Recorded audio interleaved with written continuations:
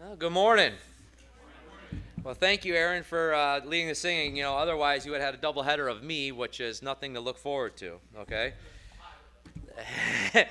well, I mean, uh, between Aaron and Amanda, we certainly are blessed by the those that would play the piano for us. Otherwise, well, I'm sure the Lord appreciates our singing, but sometimes we don't appreciate each other's singing, right?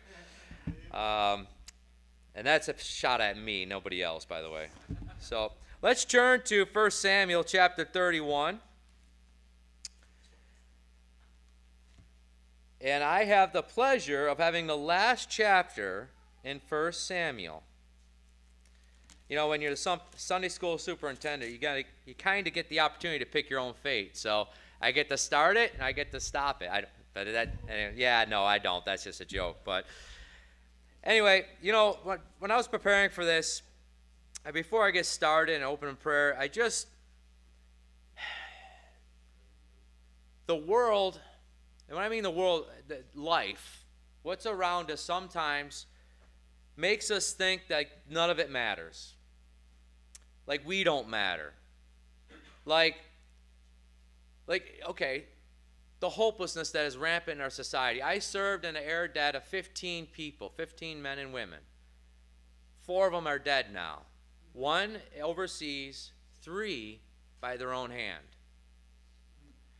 These are people that I went places with that were smart, intelligent, funny. I mean, one of the guys, Ryan Gernot, he, we, it would be pouring down rain in Okinawa, and he would make you laugh so hard you almost pee your pants, okay? It was just, he was an amazing guy. And he's gone now.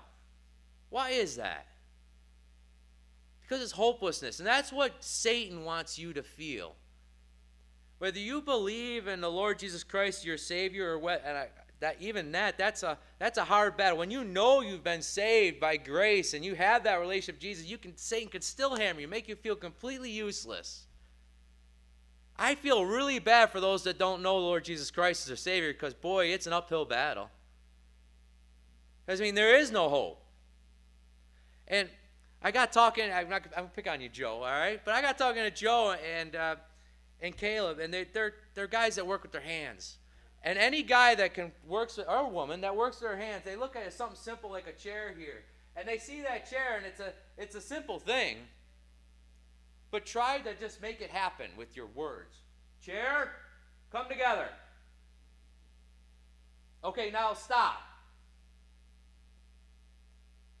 God spoke creation into existence.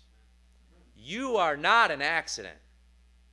Each one of us, and those that will hear this message, know that you are a human being that God knows and loves and wants to be in relationship with you.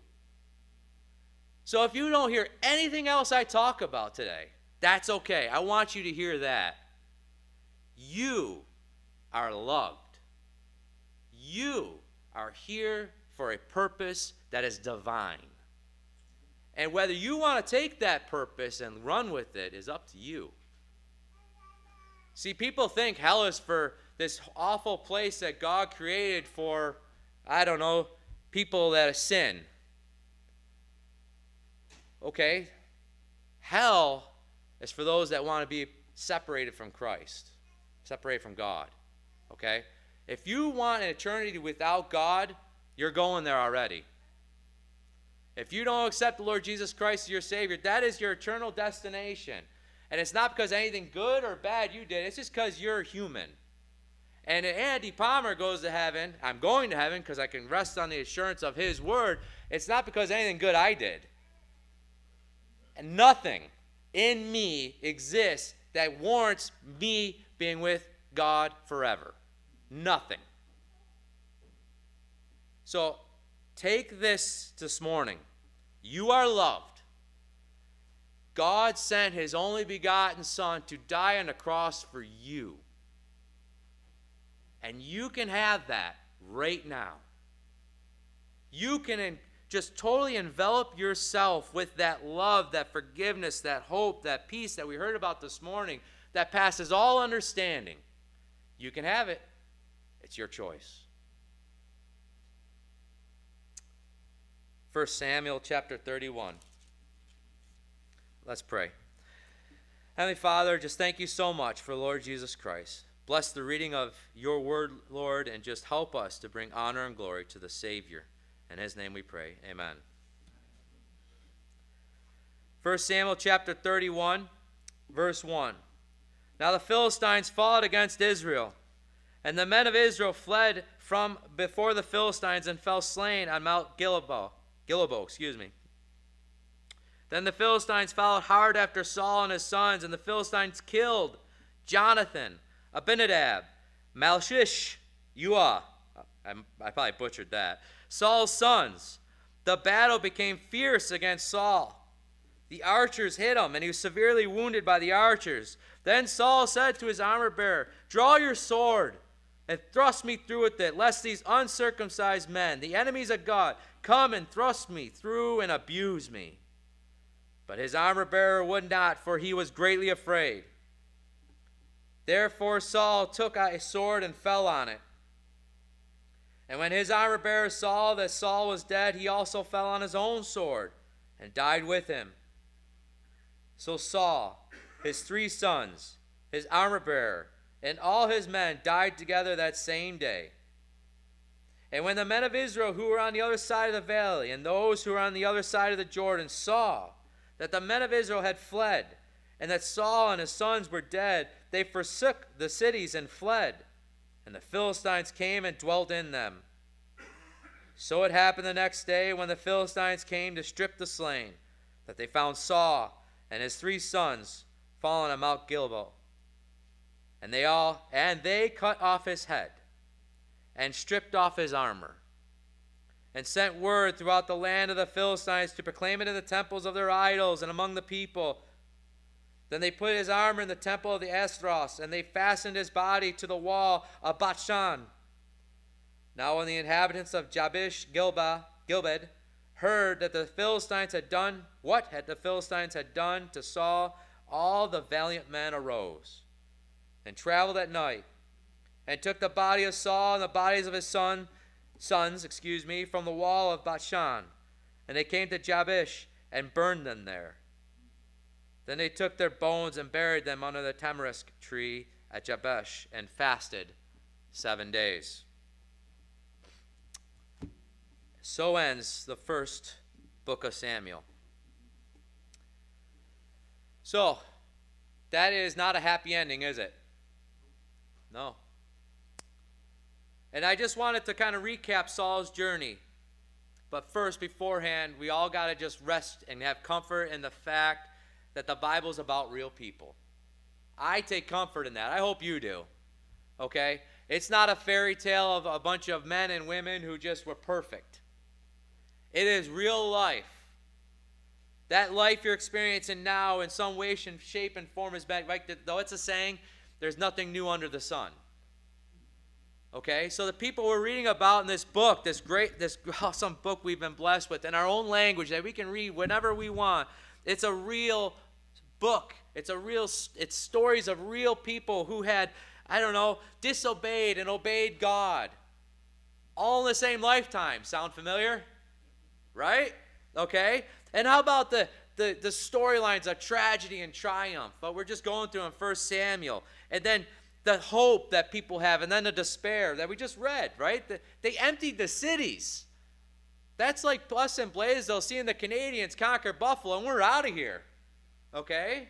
That, that's what it happened. It's real life. They forsook the cities.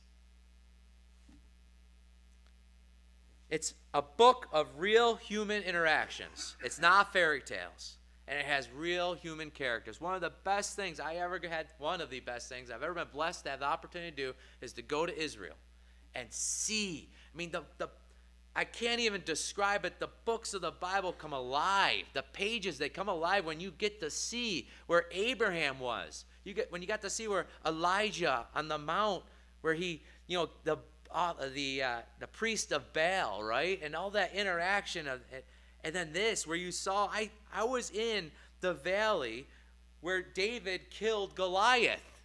Something I was taught from a little kid of what happened. I could look and see that this is a real place. This isn't a fantasy book about the seventh moon to the fifth star, okay? Not to pick anybody that likes to read that stuff. I'm just saying this is real. What Saul? What a journey from hero to zero. That could be all of us, though, right? The key is do you stay a zero?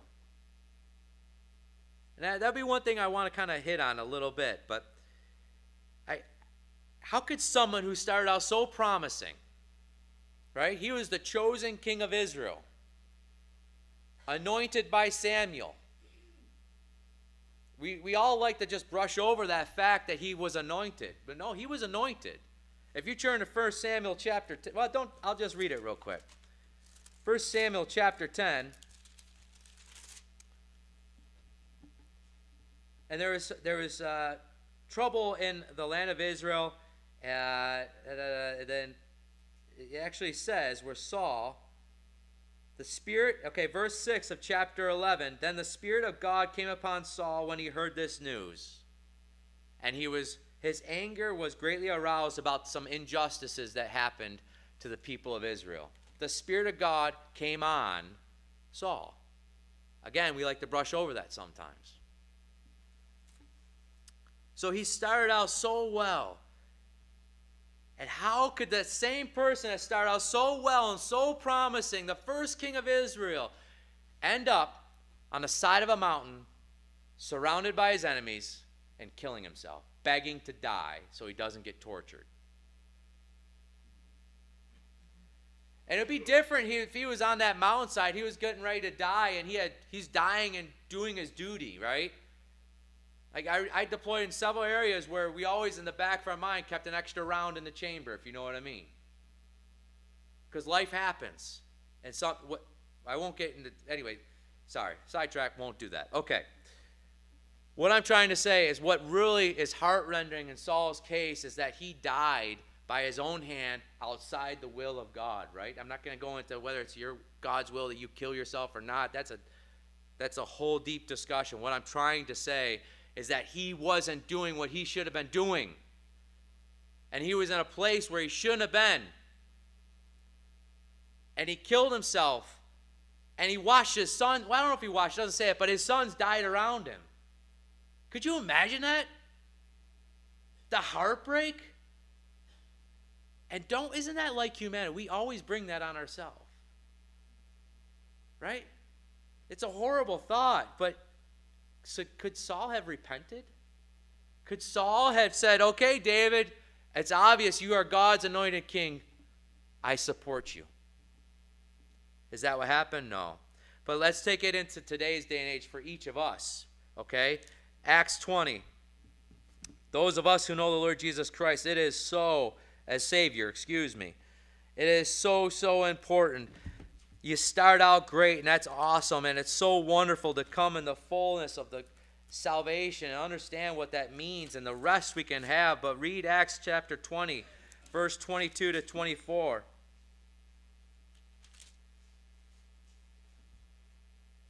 Make sure I have it right, first of all. uh, yep, here we go. And uh, see, this is Paul, right? And see, now I go bound in the Spirit to Jerusalem, not knowing the things that will happen to me there, except that the Holy Spirit testifies in every city, saying that chains and tribulations await me.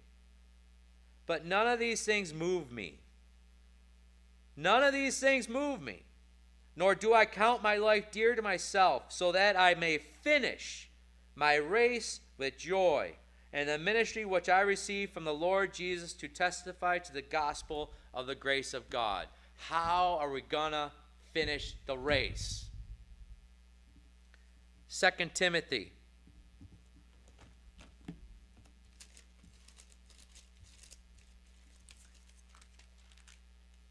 Chapter 4, verses 6 to 7. Those of you who think the Christian life is supposed to be easy and prosperity gospel certainly need to study the, the life of Christ, number one, and then the life of uh, Paul. Verse 6 For I am already being poured out as a drink offering. You ever wake up and just feel completely exhausted? Like you got nothing more to give? I wonder if that's what it's like, right? For I am already being poured out as a drink offering, and the time of my departure is at hand. I have fought the good fight, I have finished the race, I have kept the faith. At the end of it all, when we close our eyes for that last time, if the Lord doesn't come back, when we're done and we know it, are you going to be able to say in your head, I finished the race well? Not in like a way that I finished the race well. It's I didn't deviate from what the Lord Jesus Christ called me to do. Those of us, again, that follow Lord Jesus Christ and count Him as our Lord and Savior. And that's so important because if you aren't in that relationship with Jesus Christ, this isn't for you.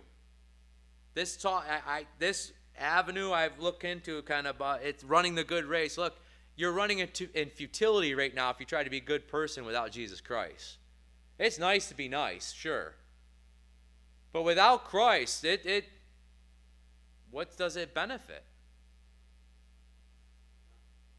Philippians chapter 1, verses 3 to 6.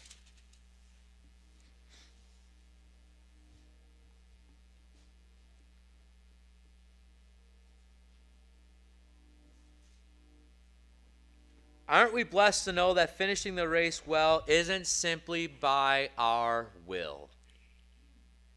I'm going to say that again. I heard you try. Amen to that. But aren't we blessed to know that finishing the race well as Christians isn't simply based off our will? Rather, it's the work of Christ in us and through us. That's the linchpin. That's everything. Because, like, let's read the Bible. It doesn't matter what I say. Philippians 1, verses 3. I thank my God upon every remembrance of you always in every prayer of mine making requests for you all with joy for your fellowship in the gospel from the first day until now. This is Paul talking to the church in Philippi, okay? Verse 6 Being confident of this very thing, that he who has begun a good work in you will complete it until the day of Jesus Christ. He will complete it. We have that promise. He will complete it. You know what stops the full fruition of that accomplishment is us. Us getting distracted, us falling away, us caring more about uh, my business, us caring more about my family, us caring, and those are all okay and good things. Actually, family is very important. I'm spitting up here. What I'm trying, it's Christ. It needs to be Christ. Period. I'm not even past my first page of notes. All right. So, isn't our purpose in life now as believers to serve Jesus, right? And that means to serve Jesus wherever he leads us. And that's a scary thing for those of us that are control freaks. I want to go where I want to go. But if I'm humble before the Lord and I'm here, I'm all, I'm all in to serve the Lord Jesus Christ, he may take me where I don't want to go. How about this? To honor him in everything we do. It doesn't say just honor him by coming to church on Sunday. It doesn't just say honor him in our our uh, our devotions because those are all good things, right? It says I think we should honor. The Bible teaches we should honor Christ in all things, and that's an attitude to worship Him in spirit and truth. I heard this great uh, little YouTube clip, and I just got to share. It was this preacher, and he was saying, you know, we come here and we sing, and we consider that worship, and it is a form of worship. But true worship is when you're in your bedroom all alone or wherever on your phone, and you can look at a picture you know you shouldn't, and you're struggling. The Holy Spirit is inside you. Go, don't do it, Andy. Don't do it. But you want to. Your flesh is like, I want to see that. I want that. And then you don't look. That's worship. That is worshiping the Most High God who has put the Holy Spirit in you to defeat your flesh. And doing in that, when you're there in that situation, is just, in, from what I can understand of Scripture, it is a precious thing to the Lord. Because He knows that you're not in front of a bunch of people doing something for them, you're doing it for Him.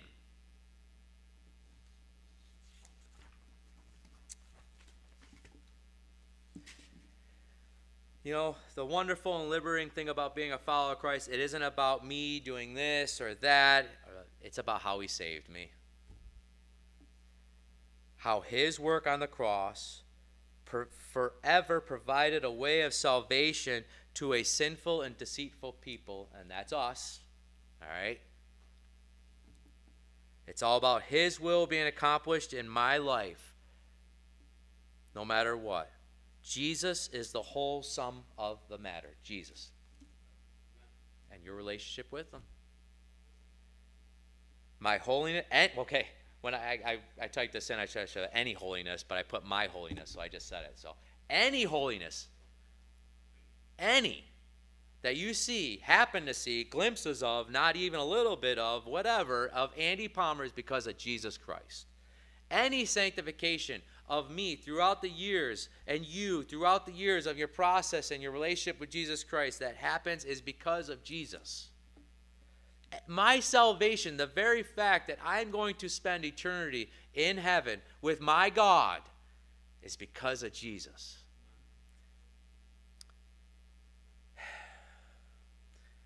Literally, all good things that can be or should be produced in a Christian's life is because of the Lord Jesus Christ.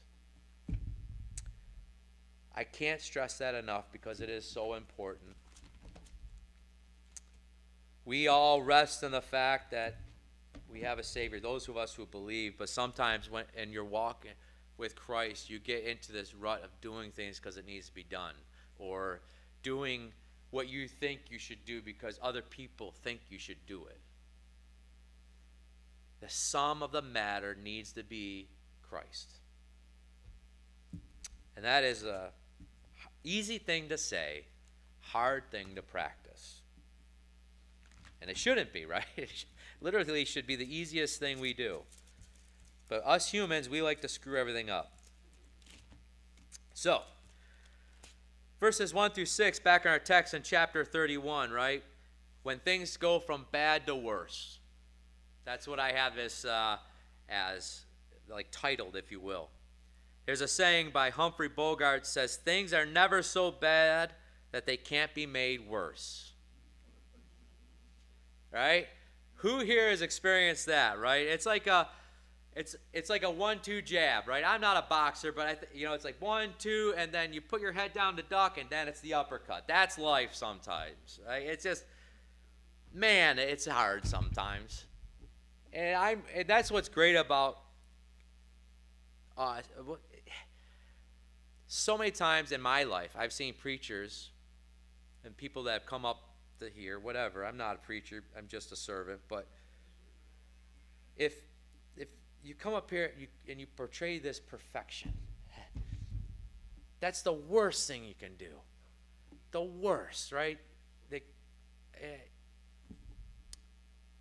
Jesus was perfection and he hung out with losers.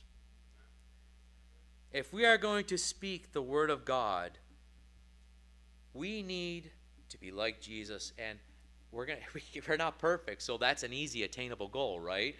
But we need to communicate that to people that come under the the under uh, the, the teaching of scripture that anything that is good that comes out of this body is because of Jesus. Whether it's verbal, an action, a thought, it's because of Jesus. So I beat that to, dead to a horse. So things go bad to worse. Think of Saul right now in our scripture. He knows David's going to be king of Israel. He knows it. He said it, right? 1 Samuel 26, 25.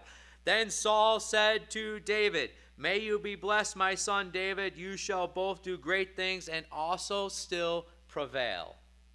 Saul knew the end game. Don't ask me how. Like maybe, maybe it's because Samuel told him and he had such faith in Samuel, or maybe it was the, the sorcerer or whatever. I don't know. You know? All we can do is go off of Scripture, and off of Scripture, we can say, see plainly that Saul knows that David is going to prevail as king of Israel. And yet, Saul won't relinquish this control, this illusion of control that he has. He is going to power through because I'm Saul.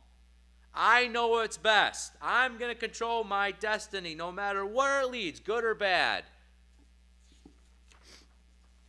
Unbeliever, unbeliever, any one of us here or is hearing this message, again, I'll say that.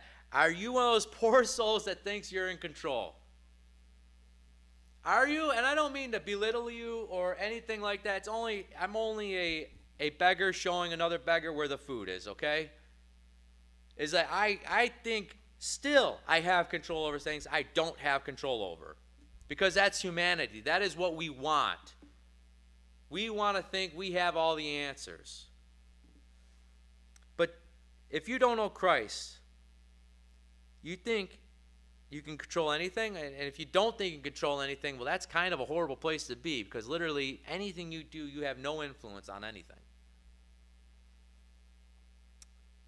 So when I think of somebody that hasn't come under the control of Christ, I hear of Saul, I think of Saul. And I think of this horrible story of Saul that we went through from first all in first Samuel and David. Obviously, there's other characters, but I think of Saul specifically because this is the end of Saul's life right here. And I think of that struggle. And I think, what else? What what could have been different? What could have been different? You think of Saul in this beginning of the chapter here, and there's no reliance on God to defeat the Philistines. We don't read of anything that he went to God to seek his face on how to tackle the Philistines.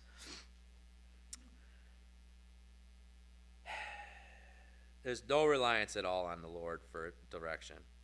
It's purely a man centric way of controlling or tackling an issue. You know, I'm reminded of something of another Saul in, in the New Testament. And it's, it, we don't have time to go there, but it's, it's when Saul, right? Saul in the New Testament was a Pharisee of Pharisees. Saul knew the law, he lived the law. He was going to do it what he thought was his way, and he was going to hammer down this, this cult called followers of the way this, that worship this guy Jesus, that says he's still alive, whatever. But they're against Judaism and I hate them. I'm going to destroy them. This was Saul, the New Testament. And you know what? Saul was fighting that Christianity, that cult. And he was fighting what he thought was God's battles, wasn't he? But it was a very man centric way. It was all about what men could do to fight God's battles for him. I'm sorry, he's God.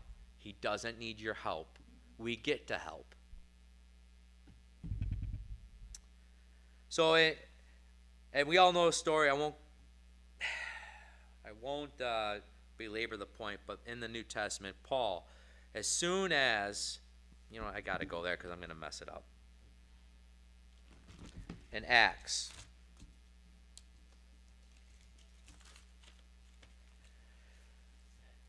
Acts chapter 9, verse 1 through 6. Then Saul, still breathing threats and murder against the disciples of the Lord, went to the high priest and asked letters from him to the synagogues of Damascus, so that if he found any of who were of the way, whether man or women, he might bring them bound to Jerusalem. As he journeyed, he came near Damascus, and suddenly a light shone around him from heaven. Then he fell to the ground and heard a voice saying to him, Saul, Saul, why are you persecuting me? Then he said, Who are you, Lord? Then the Lord said, I am Jesus, whom you are persecuting. It is hard for you to kick against the goads. So he, this is Saul, trembling and astonished, said, Lord, what do you want me to do? I want you to take away two things from just that short passage.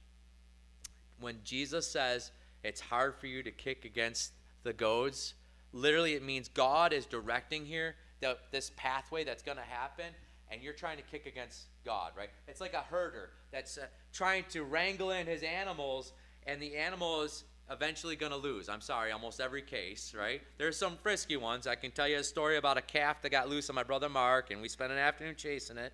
But this, Jesus saying, stop. Just stop, Paul. I know your heart. I'm, I'm adding words where I shouldn't. Stop. And what does Saul do of the New Testament? What does he say? What does he say? Anybody? What do you want me to do? Submission. Bam, immediately.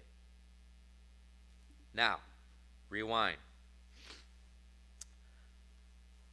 I wonder how the scriptures would have been different if Saul submitted to God's will in the Old Testament. Would Jonathan, Abinadab, and Malchishua die like they did? They certainly would die, but would they died around their father on a mountainside in defeat? Maybe the Israelites would have been victorious in this battle we're reading about. I don't know. I'm not going to put words that aren't there, okay? It really comes down, though, I want to stress this what do you choose to do? You, me. Do you put your trust in the world, or worse yet, yourself, or the government? Or do you put your trust in Jesus Christ? If you're here today and you haven't accepted the Lord Jesus Christ as Savior, please, please accept Him now. You don't have to understand theology. You don't have to understand all this Bible teaches. You don't even have to understand half the stuff I'm talking about. You got to understand one thing that Jesus Christ died on the cross for your sins and mine, and all you have to do is ask Him to come into your life. I'd say one thing Alistair Begg puts it so beautifully, it's called the man in the middle cross. We like, Christians like to put a bunch of stuff out there. The man on the middle cross told the other thief on the cross, This day you'll be with me in paradise because of his belief. You don't need to know theology. You don't need to know the 66 books of the Bible. It's good to know. It's great to know. It's great to grow in. But what you need is the Lord Jesus Christ in your life today.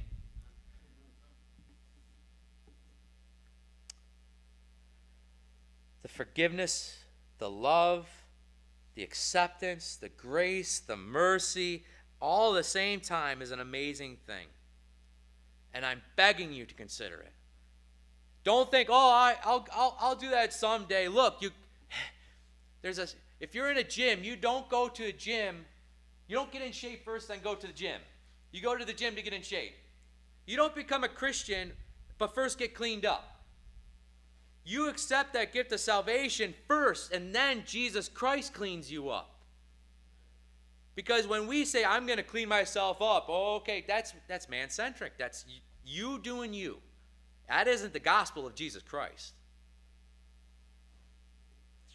You don't get cleaned up before a shower, the shower cleans you up. The Lord does the one who's done does the cleaning. It's not me, it's not this church, it's not your good works, the Lord, period. So, fellow believer, I'm almost out of time. And I've only covered six verses, not even. Believers, do we have problems with control? Do we want to control everything? And this is, I'm going to kind of go through this, but this is very important. This was helpful for me. I pray it be helpful for, for you. Do we depend on the Lord for direction in our lives when we may not like the answer? Do we seek God's blessings on our plans, saying, I'm going to do this, God? Is that okay? Or do we seek to better understand God's plans for our life? It's a very different outlook. But I, I got to add, it's not a, a, a, a pass for Christians to just sit there and, Lord, whatever will you want, I'll do. I'm just going to sit here and wait for your direction. No, because there's very clear directions already given. We have this, I put it already, we have this amazing book. It's called the Bible, and it has so much information if you read it. Okay? And it, it, it points us in, in life. It, look, I put together a very short list from the Word of God that Jesus asked in the Gospels for us. It doesn't go into the teachings of the epistles or anything like that. Do this in remembrance of me. Jesus, Luke 22 19. Let your light shine before men. Matthew 5, 16. Put yourselves last, others first. Mark 9, 35. Guard against every form of greed. Luke 12 15. Don't judge according to appearance. Woo. June, uh, John 7 24. Love one another. John 13 34. Keep my commandments. John 14 15. Love your enemies. Do good to those who hate you. uh oh. Amen. That is a tough one. It's Luke 6 27. Have faith in God. Mark 11 22. And this one, at this time of year, pay your taxes. Nobody likes to hear that, but literally, Jesus got a coin. says, Render to Caesar's what is Caesar, and God's is God's. Pay your taxes. Matthew 22 21. Abide in me. Not me, him. John 15, 7 to 12. How about this in Mark, excuse me? Mark 13, 33 through 37 says, Take heed and be on alert. You do not know when the appointed time will come. Matthew 6, 31. Seek God's kingdom and his righteousness. Christian, it's not an exhaustive list. There's a lot more. And it's actually practical things we can do that Christ calls us to do. I always appreciate this little saying control the controllables, right? There's tons of ways on that list that we can control the controllables. You know what? Can we stop the Ukraine Russo war? Can we stop it? No, we cannot stop that war. But we can pray for the bloodshed to stop, and we can pray for those and support the missions that are over there to help those people. Do you see the difference? Control the controllables. I am out of time. And I obviously the Lord had a plan, but I'm like five pages away from ending, so I don't keep you guys here. But what I wanted to say in, in closing, uh, the last six verses is an awesome story. I really haven't got too much time of valiant men who saw something wrong and they did it, something about it. Now, I will dare say there's valiant men and women. And I can tell you that looking out in the world today and how I grew up and how my kids are growing up, we need valiant men and women to do what is right. It's not a comfortable conversation and it's not easy to do. Rosa Parks, she was a civil rights lady. We Rosa Parks sat in the front of the bus instead of the back, okay? She stood up for what was right. She said this you must never be fearful about what you are doing when it's right. Don't be afraid. Fear not. That's in the Bible a lot. Fear not. So these gallant men, gallant and valiant men of Gilead. Number one, first of all, to be called valiant, right? I don't know about other men, but if somebody on my when I'm dead and gone, my kids going, my my dad was a valiant man, I'd be like, yes! In Scripture, throughout the annals, these 10, I mean, these valiant men walked 10 miles at night to take the king of Israel down off a wall after his body had been beheaded. Do you think that that wasn't guarded?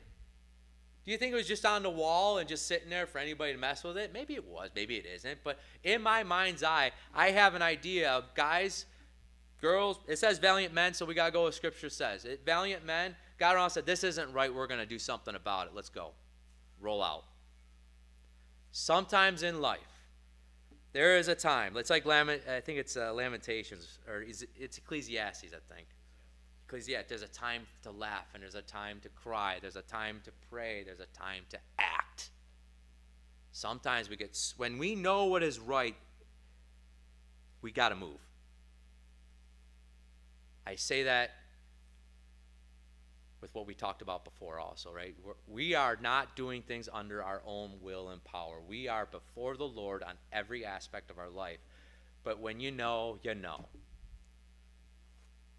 When I was in the Navy, and I'm going to wrap up with this, we always laughed at how glorified our job was. I was a Navy diver, right? And everybody wants to be a Navy diver when you're in the Caribbean and you got 100 feet viz and the water temperature is 80 degrees. But I'll tell you what, nobody including the divers there, want to be a Navy diver in Norfolk, Virginia when it's 30 degrees out and you got to dive in Norfolk Harbor with 10 foot of suspended mud?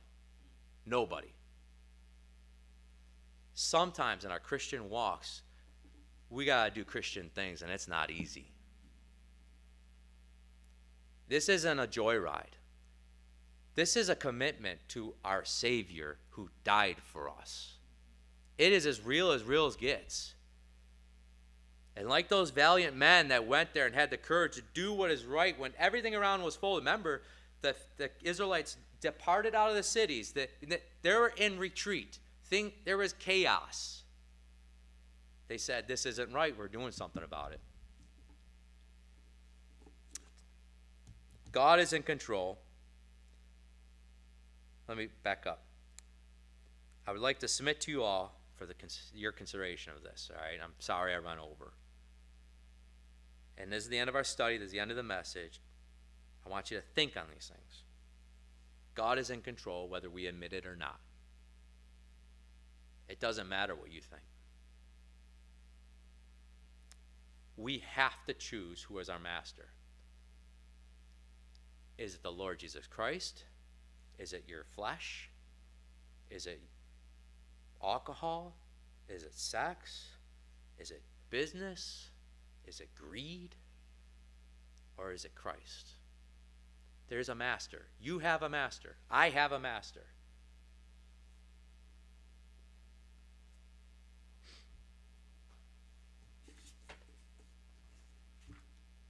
You have to decide. How can we serve the Lord when it's time to roll? Do we roll out our way? No. We need to roll out in His will and in His timing. His way and for His glory. Are we all in for Christ, right? You can always tell the people that are hesitant to do anything, like whether they're playing sports or weightlifting. Like when you're doing weightlifting, Olympic weightlifting, you have to commit, okay? When you're doing a, a clean and jerk or something like that, there you have to grab that bar and move. If you hesitate, you're not going to complete the movement. Are you all in? Believer, are you all in?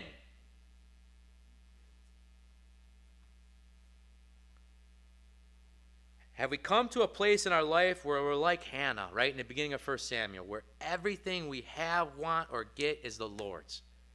And that's our heart. We're for God. Do we face the battles of Christian life? Because there will be battles. If you choose this life, there is going to be battle. Well, there's battles anyway. But if you choose to, to accept the Lord Jesus Christ as your Savior, that there is going to be heartache and there is going to be trouble and there is going to be battles.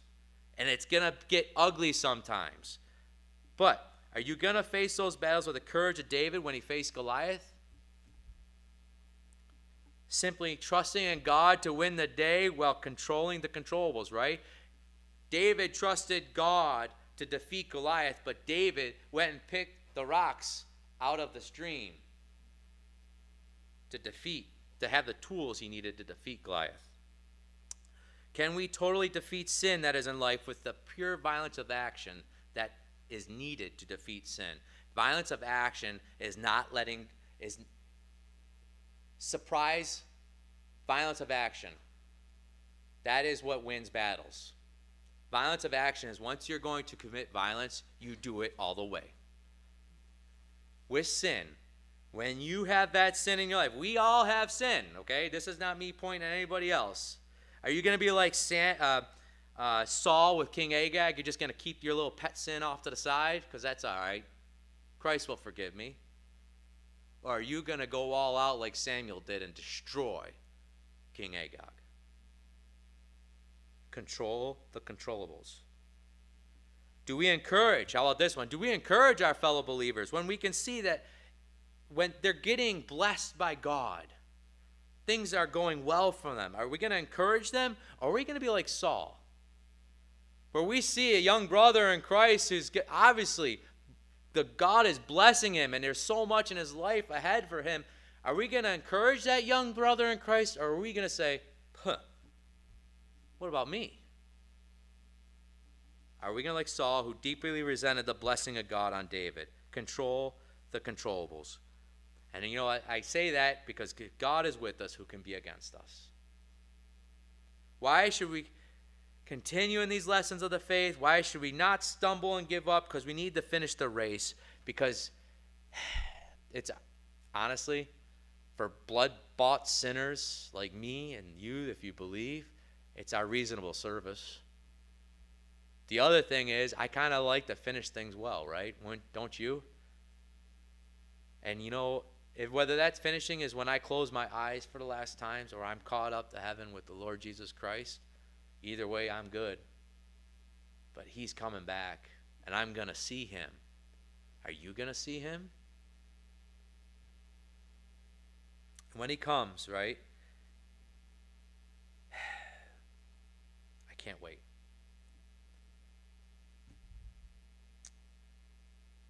I just, I should, I'm way over, and I got to turn and read this. I'm sorry. Proverbs 4. I really, I, I prayed about even having this in here, and I, I was very convicted that I should, so bear with me. We're almost done. In Proverbs 4, verses 23. And this is meant to encourage the, you keep on with the race. You know, I've kind of mentioned working out a little bit. I've ran marathons, a couple marathons, and everybody starts strong at mile one, and mile two, and mile three. At mile 20, everybody hurts. Everybody thinks about quitting. This for the older saints in the room. Keep going. We need you we need to see what that life of, of Christ with Christ looks like. So, and the other thing too for you young believers and believers and not so young anymore. There, again, in our gym, there's a there's I think a little poster that says, "You can cry, you can puke, you can bleed, but you can't quit."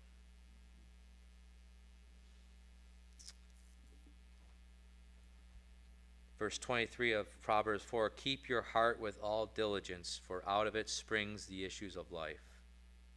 Put away from you a deceitful mouth, and put perverse lips far from you. Let your eyes look straight ahead, and your eyelids look right before you.